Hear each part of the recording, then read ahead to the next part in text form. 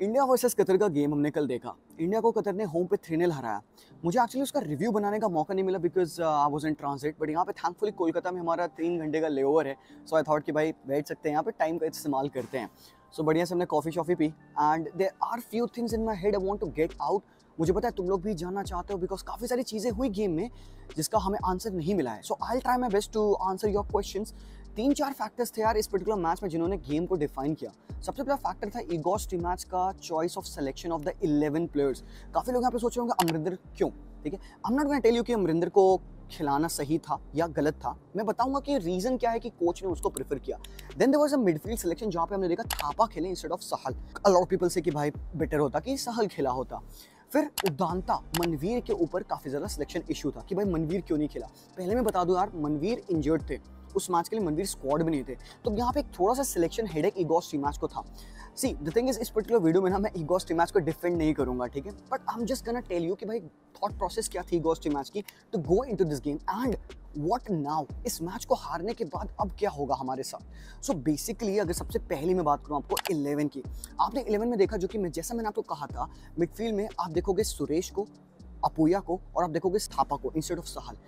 Why these three midfielders आपने अगर game देखा होगा डिटेल में तो यू वुड हैव सीन कि जिस हिसाब से थापा और Sunil Chhetri from the front too वो प्रेस कर रहे थे कतर को। नॉन स्टॉप प्रेसिंग किया है। सुनील छेत्री ने अराउंड सेवेंटी मिनट तक नॉन स्टॉप प्रेसिंग की है और उनके साथ साथ दूसरा बंदा कौन था? वो था थापा।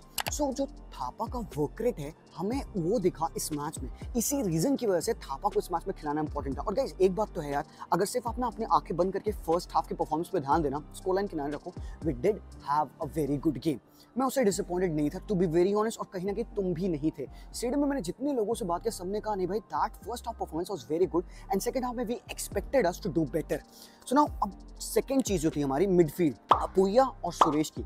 जिस हिसाब की वो दो बंदे डायनेमिज्म लाते हैं पिच पे, तुमने देखा? और यही चीज़ जाके ईगोस टीमर्स ने आगे बोली कि यार, मुझे मेरी मिडफील्ड मिल चुकी है।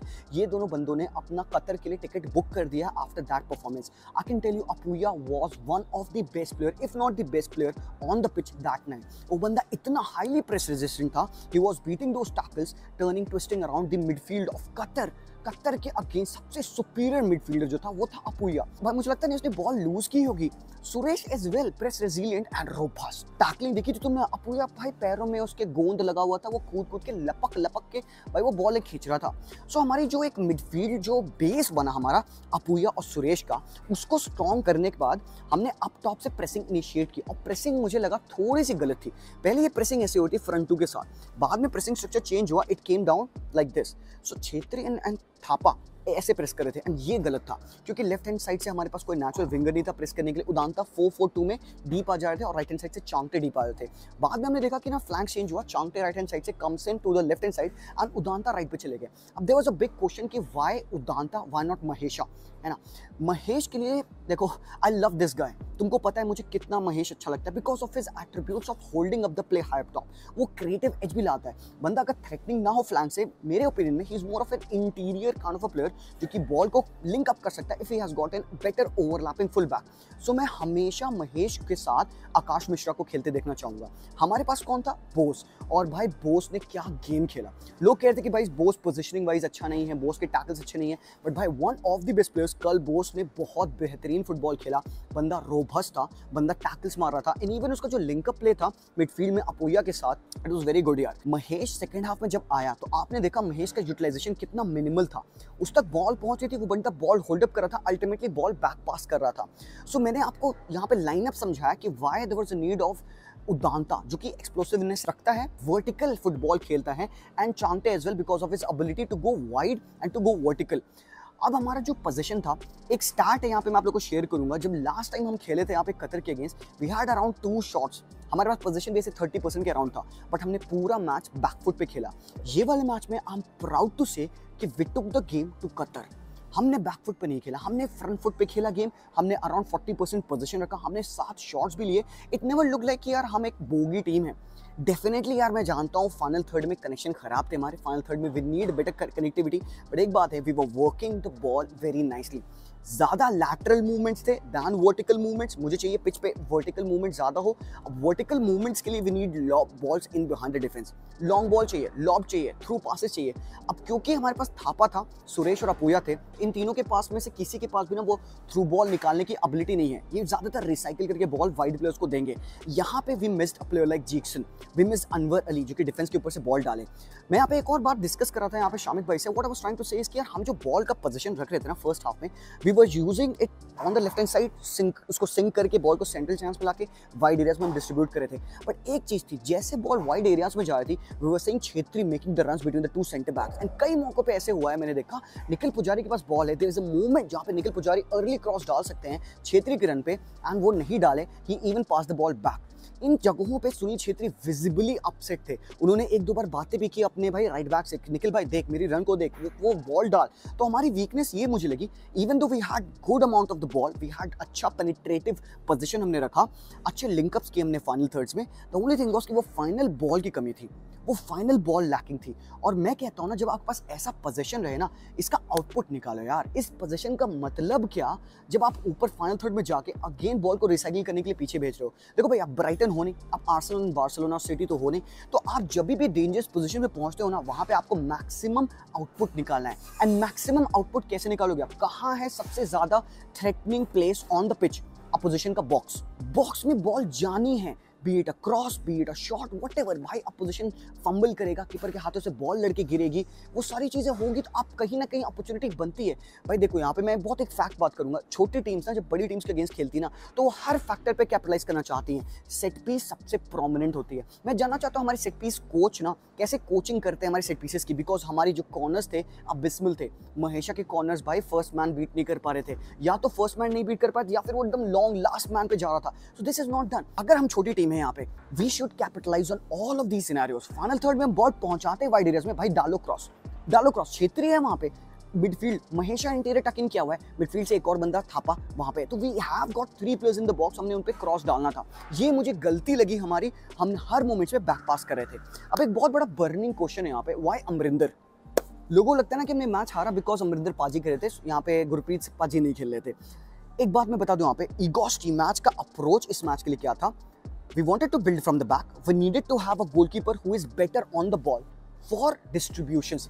ठीक है ठीक है, मैं जानता हूँ एक्सेप्टिंग अमदर पाजी ने ना चाहते हुए अननेसेसरी प्रेशर अपने ऊपर लिया, ठीक है बट क्या उनके डायरेक्ट गलती से कोई गोल पड़ा क्या कुछ ऐसा उन्होंने किया पिच पे जिसकी वजह से हमें डायरेक्ट गोल खाया देखो मिस्टेक्स थी उनकी। उन्होंने गलत प्रेशर अपने पे लिया। उन्होंने गलत पासिस भी किए। Agreed with that but the thing is only because of having Amrinder paaji on the ball जो कि हमारे बेटर बॉल प्लेइंग गोलकीपर हैं, उनकी वजह से we were able to distribute the ball to the flanks very easily so बस इसी वजह से ना अमरिंदर का सिलेक्शन मैं कह सकता हूँ जस्टिफाइड था। लेट्स से कि उन्होंने जो गोल कंसीड किया पहला वाला गोल क्या अमरिंदर की गलती थी? नहीं भाई बॉल डिफेंस ने क्लियर नहीं की। अमरिंदर की प्रेजेंस की वजह से वहाँ पे दोनों सेंटर बैक फट सकते थे। बिकॉज़ उनको पता है अमरिंदर ऊपर स्टेप करके ना he can become the third centre back and वो वो बॉल फेंक सकते हैं। आगे लेटर ऑन अगर हमारी टीम थोड़ी अच्छी हो आती है कि हम पोजीशन रख पाते हैं अमरिंदर कैन डू दैट जैसे आप देखते हो, बड़ी टीम्स करती हो अपने गोलकीपर को ना प्ले में इन्वॉल्व करती हैं। और इसका एक और रीजन था टैक्टिकल रीजन था। मैं बताता हूँ कैसे। गुरप्रीत पाजी अब खेलते हैं ना, वो बॉल पे उनका पहला इशारा क्या होता है? सेंटर बैक्स को फेंको और सेंटर बैक से बिल्ड होता है। या फिर लॉन्ग जाओ बट जब अमरिंदर पाजी थे ना, क्या हो रहा था? अक्सर कतर का एक प्लेयर मिडफील्ड से स्प्लिट करके he is going on and marking Amrinder paaji. तो उससे क्या सीन होता है? एक कम बच गया मैन मिडफील्ड में। और तो वहाँ से अमरिंदर पाजी का सही पास निकाल लिए। अगर हमने मिडफील्ड में बॉल निकाली तो वहाँ पे एक बंदा कतर का कम है। लेकिन गुरप्रीत के साथ क्या होता है? He starts the build up with your centre backs तो एक एक टैक्टिकल रीजन भी था जिसकी वजह से हमने पाजी को खिलाया। पहले गोल में उनकी गलती नहीं थी। सेकंड गोल जो हमने कहा कह सकते तो थोड़ी सी गलती थी उन्होंने स्पिल कर दिया। वो शॉट जो आया उन्होंने उसको सेव किया स्पिल कर दिया। थर्ड गोल में बाबा कुछ से यार, वो गोल बहुत बेहतरीन था, उसमें कुछ कर नहीं सकते थे वो। द थिंग इज़ की वो जो उन्होंने सेव्स किए, आपने देखा भाई, अमरिंदर पाजी ने बेहतरीन सेव्स किए थे। तो अच्छे शॉक स्टॉपर है बट आई से येस यार, थोड़ी सी गलतियाँ थी प्लेयर्स की गलतियाँ थी। आउट कि सेकंड हाफ़ में जो हमने सब्सिट्यूशन किया उदानता को हटा के हमने महेशा लाया। आउट कि मे बी वो बेस्ट चेंज नहीं था हमारे लिए बट कहीं ना कहीं because we did not have Manveer match में तो हमें उदानता के साथ जाना पड़ा। लिस्टन का एक बहुत बड़ा क्वेश्चन है यहाँ पे कि क्या लिस्टन केपेबल है to play in the national team क्योंकि ये बात उदानता के बारे में ईगोस टीम ने पोस्ट मैच कही कि भाई उस बंदे को अपने आप को अब प्रूव करना होगा क्लब लेवल पे कि that he deserves a spot in the national team तो यहाँ पे बहुत बड़ा क्वेश्चन है हमारे सारे प्लेयर्स के लिए कि भाई अब बस आप ना मेरिट पे ही आओगे टीम में। ऐसे नहीं कि भाई आप कोच के चाहिए तो आप आओगे। और ये ईगोस टीम ने एक हर एक प्लेयर के लिए किया है भाई। तो ये जो मेरिट बेस्ड क्वालिफिकेशन है ना, ये वर्क करना चाहिए। इसलिए मुझे चाहिए पार्थिव गोगोई जैसे प्लेयर्स इसलिए मुझे चाहिए जय गुप्ता वाला कॉम्पिटिशन जो कि आकाश मिश्रा तक को पुश करे कि भाई तो बेस्ट खेल यार। बेस्ट खेल तो टीम में आ चुका इसका मतलब नहीं कि तुझे ठंड रखना है। बट गाइस एक बार हाइंड साइड में सोचो ना we played this kind of a game against Qatar front foot पे खेलना चांसेस बनाना सहल की वो चांस थी थापा की वो चांस थी one v one should have been buried should have been buried Apuia की वो चांस थी, जो हमने बहुत प्यारे मूवमेंट करके कॉम्बिनेशन करके राइट हैंड साइड से ओवरलोड करके जोन 14 से शॉट लिया अपूया का, जो कि ओवर द बार गया। ये चांसेस के लिए मैं खुश हूँ I am happy with that the thing is कि ये जो फिनिशिंग है ना, ये कन्वर्ट होंगी यार, ये होंगी convert we need goal scorers in our team वो ये, यही मोमेंट्स पे हमें कैपिटलाइज करना चाहिए। The thing is second half की जो हमारी परफॉर्मेंस आप कह सकते हो, थोड़ा सा इंटेंसिटी ड्रॉप हुआ। मुझे ऐसा लग रहा था फटीग भी आया था प्लेयर्स में, वो उतना रन करना नहीं नहीं कंटिन्यू कर पाए थे यार। बट इससे आगे आने वाले टाइम में ना, थोड़ा सा मैं डर रहा हूँ यार। वाई बिकॉज़ कमिंग जो मैचेस हैं हमारे, वो सीधा ऑस्ट्रेलिया के अगेंस्ट है उज्बेक और सीरिया के अगेंस्ट है, जो एशियन कप में होगा जनवरी में। डायरेक्टली बीच में कोई फ्रेंडलिज्म नहीं खेलना है। और ईगोस टीमास ने क्या बात कही यार कि अगर हमें सिर्फ़ दो वीक का कैंप दिया जाएगा ना तो भूल जाओ भाई। I can't guarantee you wins अगर हमें प्रॉपर कैंप टाइम नहीं मिलेगा। हाइंड साइड में, देखो, सोचो मैच हमने खेला, कतर के अगेंस्ट खेला स्कोर लाइन थोड़ी सी ज़्यादा फटके आ गई।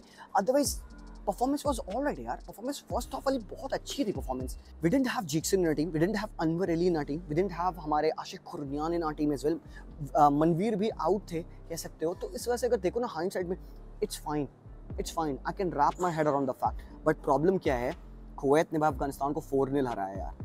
जीडी बहुत फट गया यार हमारा। हमने एक गोल मारा अभी तक।